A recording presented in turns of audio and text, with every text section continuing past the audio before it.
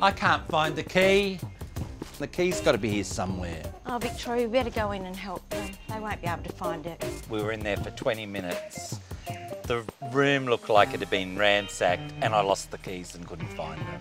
Keys We're not going wallet here. anywhere until we find the key. Why? It's not as if someone's going to break in. Looks like someone has broken in. That's the worst when you're in accommodation and you've got so much luggage. Yep. It's With a no nightmare. room. They should have a little hook when you walk in. We're in a tiny room. There's four of us.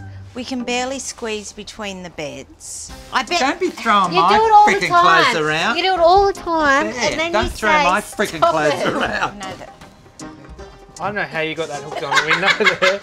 That's just quite classy. I found it. Can we go and get something to eat? I'm Yeah. hungry now. That was a lot of exercise.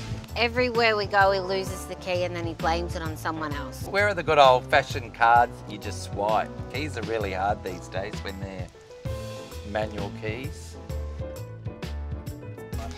Well, make sure you lock the door after that.